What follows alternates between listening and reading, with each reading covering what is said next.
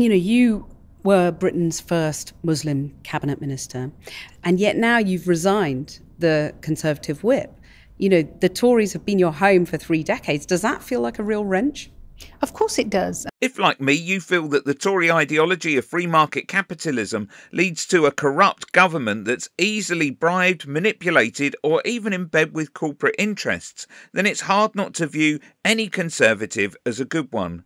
Tory peer Sayeeda Warsi is a perfect example whereby people say she's okay, and I can kind of agree because she appears to have a moral code.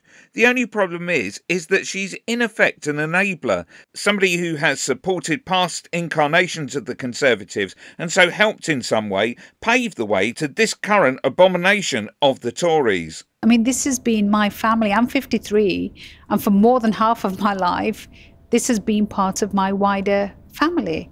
And it has been the party in which I have made lifelong friendships, which have gone on to become relationships uh, in so many interesting ways. It's the party where I have grown up as a politician. It's the party that I served my country at the cabinet table. It's the party that I chaired. I was chairman of the Conservative Party.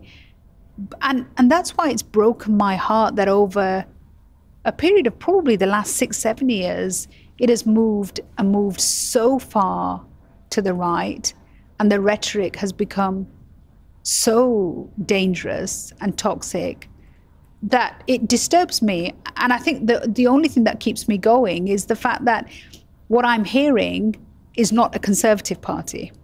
What I'm hearing is extremist rhetoric, which in conservative parties of the past would have been rejected. I mean, what I keep reminding people of when they talk about the history of the Conservative Party and Enoch Powell, and I say, yeah, Enoch Powell was seen to be a fringe voice who was sidelined. Enoch Powell didn't serve at the centre of the party and be considered to be a leadership candidate.